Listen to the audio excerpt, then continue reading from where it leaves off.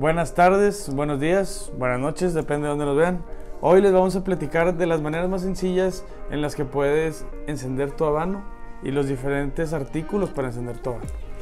Por ejemplo, el más básico que mucha gente a lo mejor no lo sabe o a lo mejor no lo hace es la madera de cedro que ya viene en tu caja. Cuando tú adquieres una caja nueva, ya viene con esta tablita de cedro. La puedes quebrar en pedazos o cortarla con un exacto para tener un final como este. Ya que tengas este, con esto y un encendedor de cualquier tipo, puedes encender la madera de cedro. Y con esto encender tu habano para poder tener el mejor sabor y aroma de tu habano. Recuerden apagarla muy bien, no se les vaya a quemar ahí la casa. La otra forma que podemos, sencilla, que la puedes encontrar en cualquier cocina, pues unos cerillos flama o cerillos de oxo de madera, no de cera, de madera. Que este pues es un cerillo corto, vas a batallar mucho al prenderlo porque se te queman los dedos.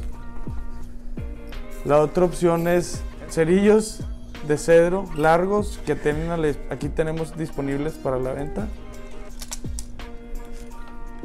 Tiene más tiempo de encendido el, el cerillo. Es mejor cedro que el de flama. Y la otra, la más sencilla que más recomendamos nosotros es un encendedor de gas butano. Aquí lo puedes regular, no se te quema la casa. Aquí lo puedes prender sin problema y lo puedes prender de la manera más uniforme para que tenga un muy buen quemado el tabaco. Les voy a comentar también un poco las cosas que no deben de hacer. No deben de prenderlo en una estufa de cocina.